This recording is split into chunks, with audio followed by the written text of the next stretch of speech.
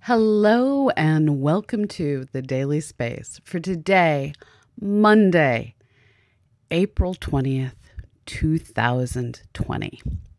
Now, as a daily news show, the timing of when we write and when we record sometimes means that we miss stories in the moment while they're happening. This happened to us on Friday when um, I knew as we were going live that this announcement had taken place, but I just didn't quite get it into our script and completely forgot to say it.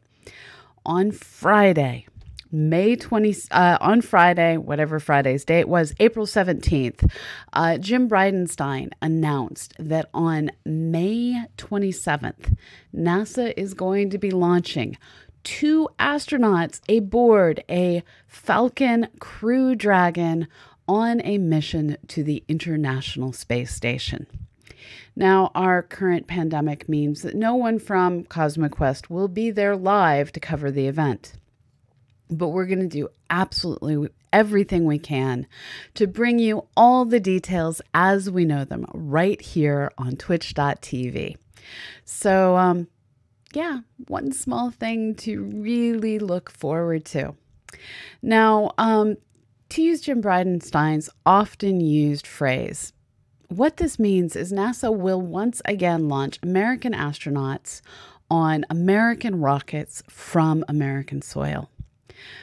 But we just want to say that the way we think of this is oh, cool, a new rocket launching new humans from an old place that we could drive to if it was not pandemic times.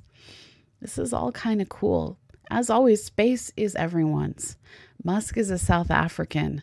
His team and the NASA team both include lots of people from many different nations from around the world who have all, in one way or another, ended up working either for collaborating companies in other countries or working here in the United States because, well, this is a pretty good place to work on getting to outer space.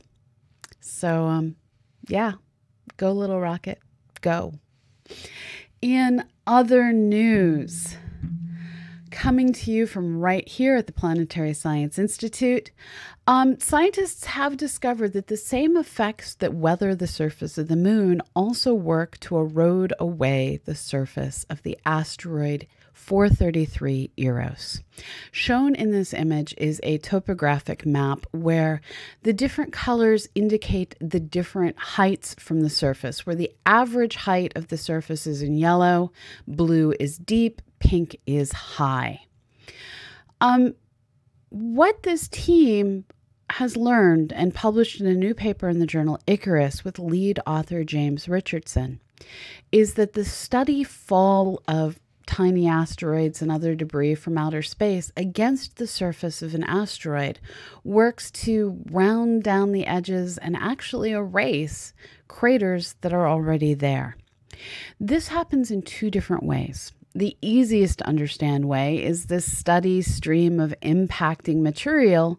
Well, wherever it hits, it crushes when it hits, turning rocks into regolith, and otherwise literally melts away structures on the surface, the same way rain will erode away an adobe wall that hasn't been baked. Now, the other way that these impacts can affect things is through seismic tremors. When an object hits the asteroid, it sets the entire thing shaking ever so slightly.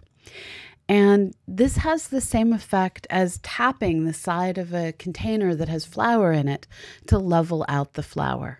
Those seismic motions just ever so gradually shake away surface features. This well, packs a one two punch that has the effect that over time, the sharp edges of fresh craters, well, they wear away as they're no longer quite so fresh. Um, yeah, asteroids are shaken, not stirred. Now, objects colliding and breaking apart is really just the way of things here in our solar system. From Eros's impacts, we now switch gears to look at the crumbling comet 2I Borisov. As this object has passed near the sun, it has begun to break apart. But while it was still one piece, this comet already had a comet tail and a coma of materials that were released as volatiles. Um, all those ices rearing up to become gas as all those volatiles sublimated away.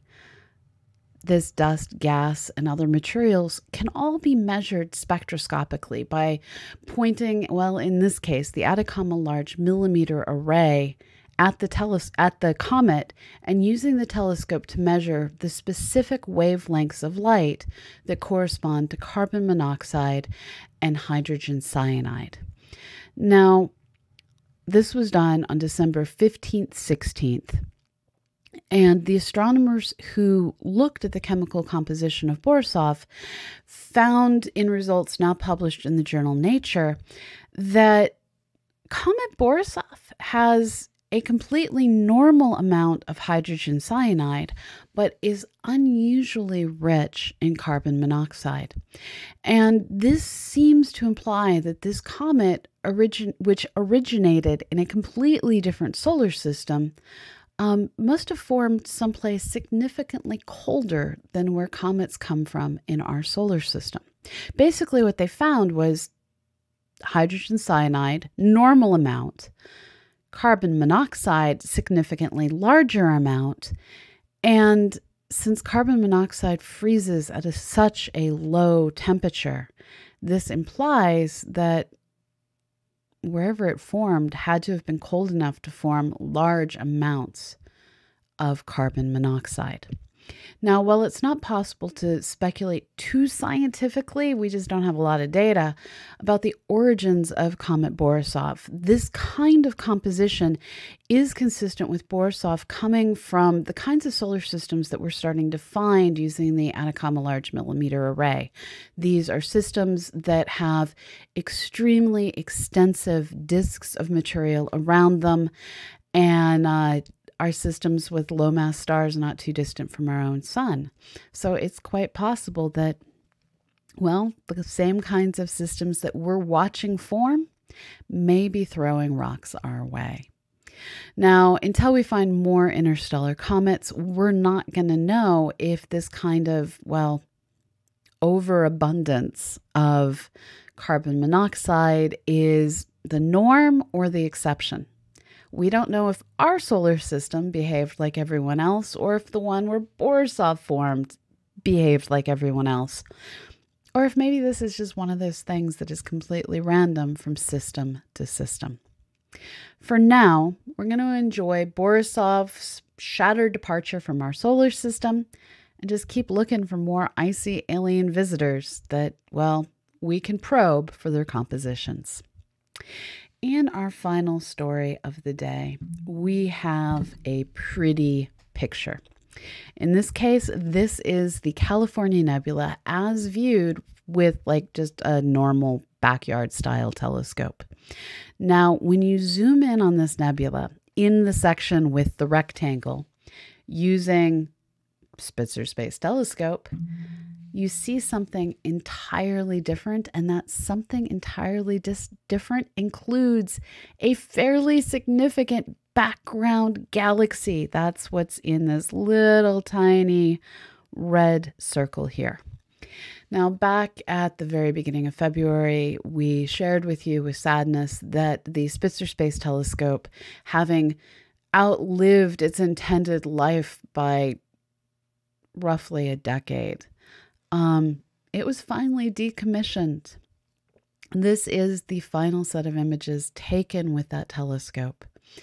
And the other thing we told you was we're going to keep using that data for years, decades to come to keep learning about our solar system, our galaxy, and the universe beyond. And this is one of those days when that data is telling us something new.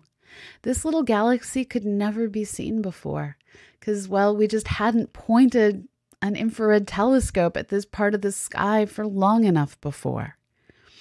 Dust has the habit of, in general, unless it's super special dust like comes from Betelgeuse that we talked about on Friday, dust in general blocks blue wavelengths. It blocks visible wavelengths. Reds and infrared light, the further you get towards the red, the longer your wavelengths, the more light comes out and hits a detector. So, with the Spitzer Space Telescope working in those infrared wavelengths, we were able to see through the California Nebula and literally see a galaxy hiding behind it. This is kind of cool. And I look forward to many more decades of seeing what new discoveries are hiding like that galaxy, just waiting to be seen. And that's all we've got for today. Now, stick around. I will be answering your questions. Um, but before I do that, I just wanted to remind you this episode of The Daily Space was written by me, Dr. Pamela Gay, and will be produced by Susie Murph. The Daily Space is a production of the Planetary Science Institute, a 501c3 nonprofit dedicated to exploring our solar system and beyond. We are here thanks to you your donations, your bits, your subs, your patronage at patreon.com. All of these things allow us to pay our staff a wage that is getting them through these pandemic times. Thank you for everything you do. Because of you, there are a few more people that don't have to seek unemployment. So thank you. Now, we are seeing a dramatic decrease in donations. And what this tells me is a lot of you are struggling. And we just want you to know we're here for you. Come hang out with us in Discord if you need something to fill your day. We have volunteer tasks and we'd love your help. And just know that we have pretty much perpetual games of Ticket to Ride going. And if you just want to lurk and play a game, that's okay too. We will get through this virus no matter how long it takes, we're going to get through it together. All right. So I'm now going to check out your questions and I'm going to put up this particularly pretty larger scale image of the California Nebula to do that. All right. So let's see what all we have got. Um, so uh, Veronica Cura asks, what makes it a background galaxy? Um, it's literally just the terms stolen from like art and photography where the things that are in front are called foreground and the things that are behind are called background. So in this case, the California nebula is your foreground object. Um, but if I switch over and I look through all that dust and gas, the stuff behind the dust and gas is the background object. Now, what is foreground and what is background all depends on where you have focused. Um, there are lots and lots of times when larger on the sky galaxies like this one are considered foreground galaxies when compared to the background of quasars and distant galaxies beyond. So, just like the tree in your front yard might sometimes be the foreground object in your photo, whereas sometimes the moon is the foreground object compared to the stars. It's just a way of saying what is closer and further away in an image of many different things. All right, let's see what else is in here. Language is squishy. Language is very squishy. Um, so so Limperimple asks, how about a sound telescope? So so sound actually propagates in a completely different way than light. Um, light moves through space as a particle called a photon flies. These particles have wavelengths because quantum mechanics. And depending on the energy of the photon, it's always going to travel at the exact same speed, the speed of light. And when you have a photon with a lot of energy, it gets bluer and bluer, going out through ultraviolet to X ray to gamma ray. As the energy in that photon gets less and less, you end up with a um, progressively lower and lower energy, redder and redder, longer wavelength um, photon.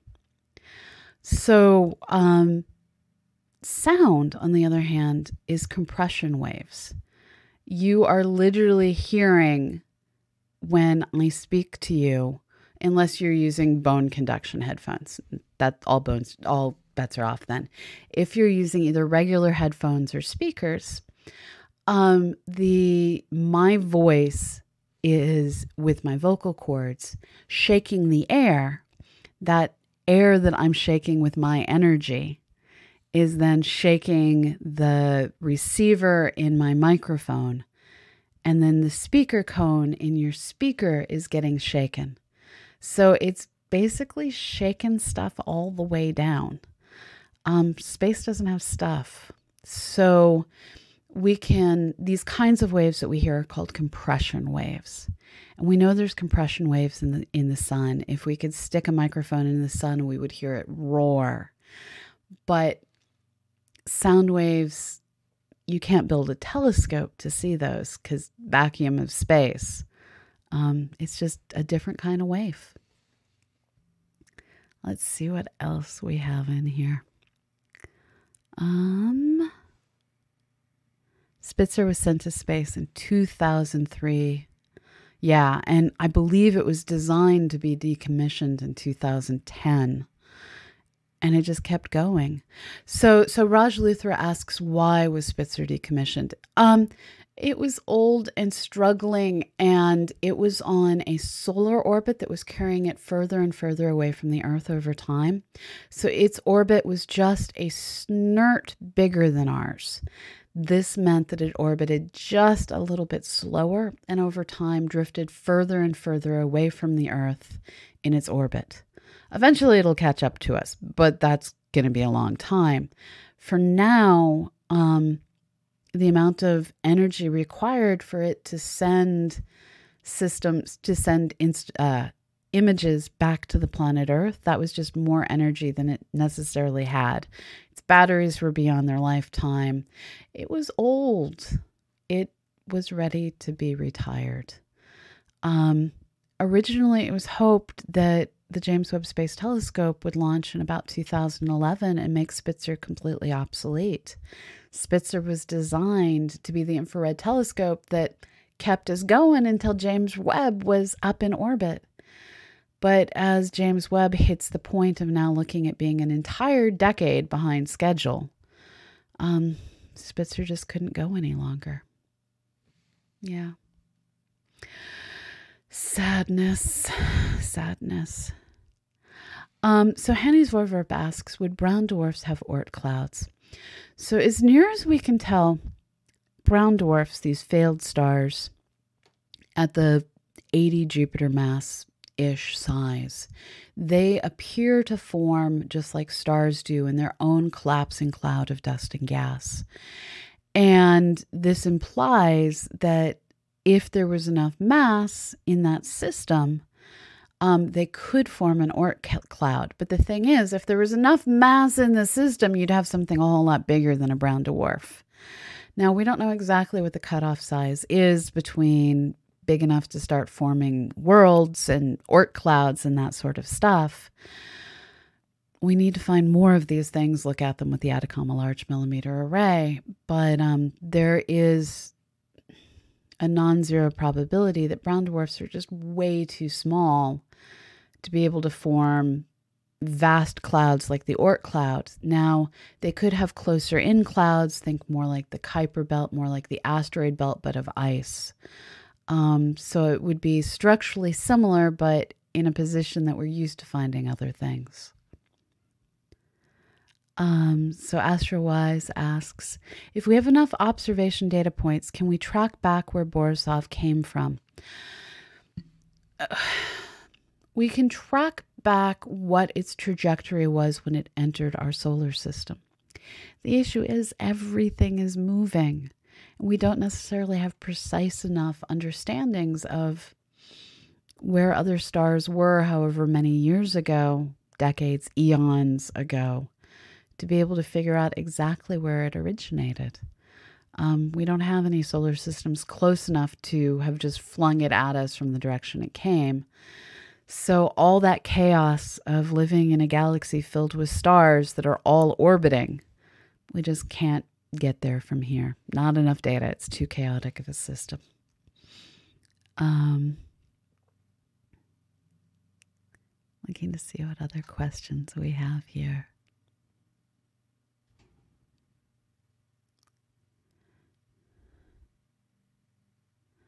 Um, Tropical Tom is like, after the show, can uh, anyone want to help an old boomer with his Twitch Prime? Um, okay. It, can someone at me and at Tropical Tom if they're able to help? Otherwise, um, I'll see what I can do. But I have to admit, I set it up a long time ago and don't remember how I did it. So if anyone has done it recently and can help Tropical Tom, please help Tropical Tom. Um, looking to see what else is in here. Okay. And I, I saw the comment on that. Jeff, yes, I this is so entirely the correct GIF, GIF, pick the pronunciation of choice to go along with this tweet. Um, yeah, it's happening. It's happening. All right, let me scroll down to the bottom and see what new things have come in while I was scrolling up. Um, thank you, Veronica, for helping. Thank you so much. Um,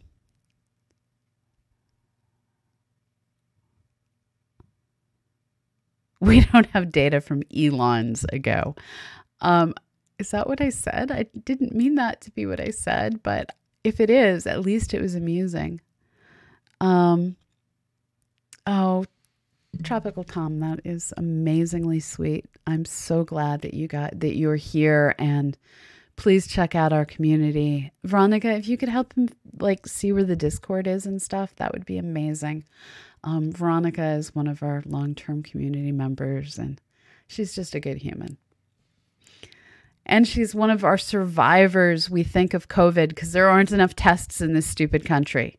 She's a survivor, which makes her a superhero with superpowers. Um, looking to see what else is in here.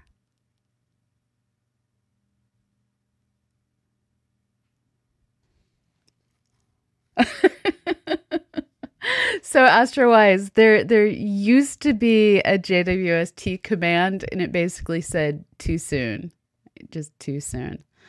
Um, unfortunately, we do have to sometimes talk about it. It's the never-ending wait. um, so Raj Luther asks, when Spitzer is close to the Earth again, will it be used again? Its batteries won't be any good by that point, and hopefully by that point we will be so much more of a spacefaring nation that we can go grab it and stick it in a museum. That would be my hope. Um, so Henny asks, are gravitational waves compression waves? Oi. Um, sort of. But instead of being compression waves through a medium, they're a compression wave through the fabric of space. So sound waves uh, compress the gas, the rock, the whatever it is they're traveling through. Sound waves have to travel through something. A nebula can have a sound speed and sound waves. Um, it's such a diffuse gas that it will significantly affect the pitch. But um, with gravitational waves, it it is taking space, time, everything, and compressing it. So, yeah, yeah. Um,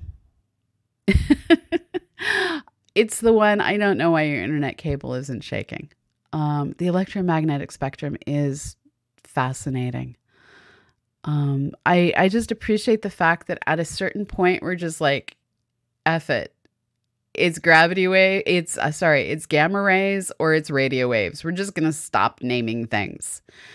And I don't think we have detectors that go like to infinity in either direction. So we don't even know what the universe might be doing at the longest and shortest wavelengths of light. Um, So, Tropical Tom asks, How big do dust particles have to be to block all light, all colors, instead of blocking just blue light? So, the size of the particle affects what color is blocked.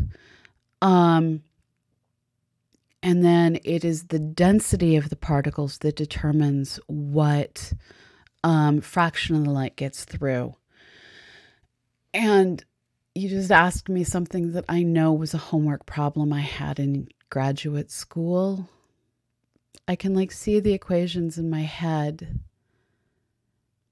but um, I don't remember the answer. so so essentially, uh, once you start getting big old chunky dust particles, they block all colors of light equally. Once you get a dense enough fabric of chunky dust particles, then you block all the light.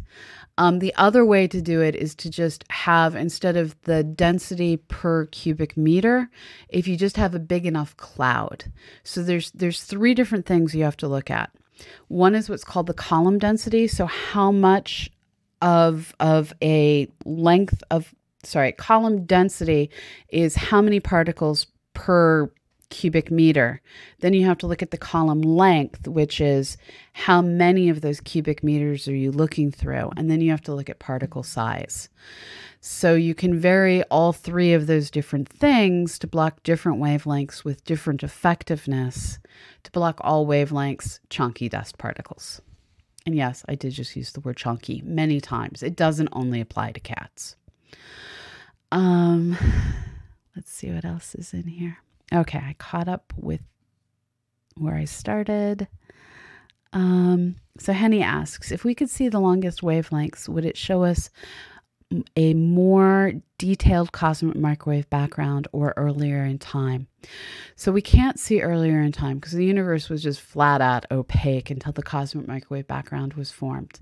And the cosmic microwave background radiation is a specific wavelength that corresponds to the temperature the universe was at the moment the cosmic microwave background formed with that wavelength getting stretched out by the expansion of the universe. And it turns out, as long as we're in orbit, we can see that wavelength perfectly well. Um, so I don't know exactly what we would be missing. Yeah. Um,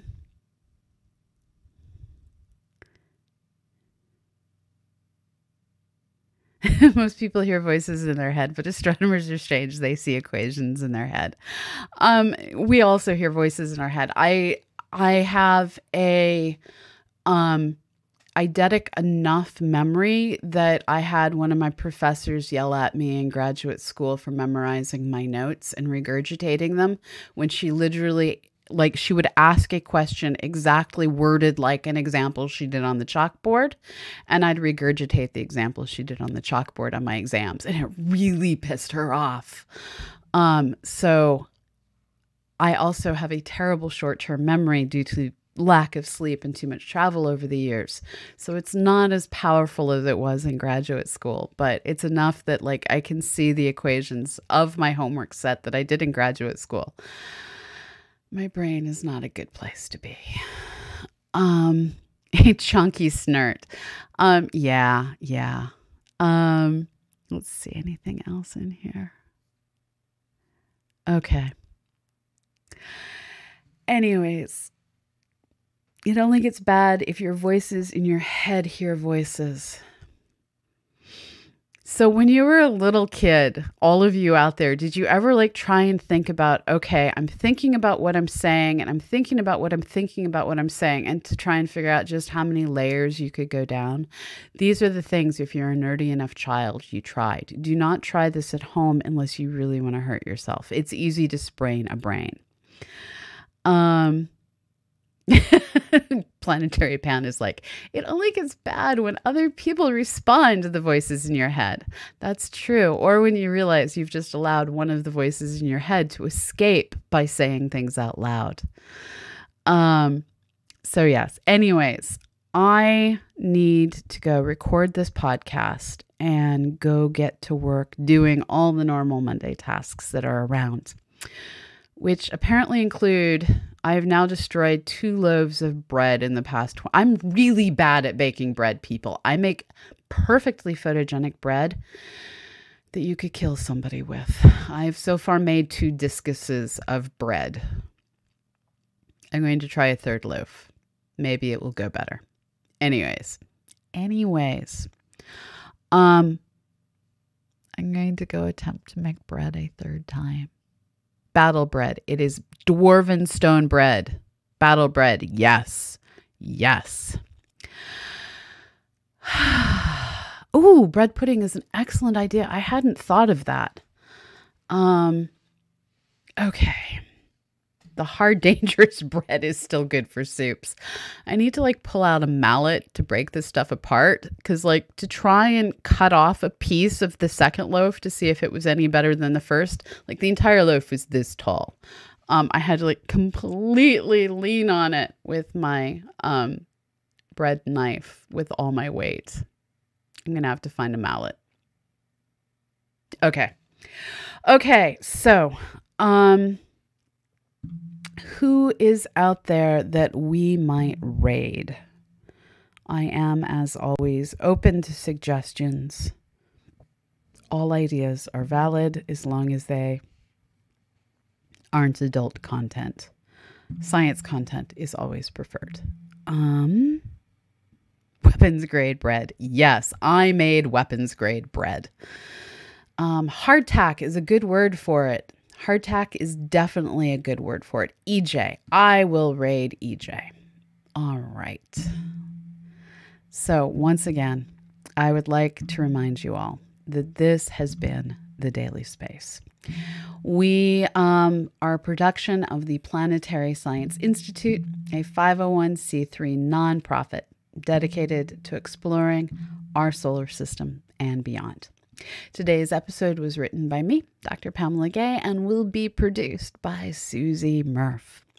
We are here thanks to the generous contributions of people like you. Your bits, your subs, your patronage at patreon.com slash cosmoquestx allow us to keep going. So thank you. And if you're looking for other ways to get involved, there's lots you can do. And the easiest thing you can do is just share us out. Let your friends know hey, there's this place where you can go learn a science. Anyways, that's all we've got for today. So, wherever you are in the world, have a fabulous morning, evening, or afternoon, and wash your hands and keep sheltering in place. Bye bye.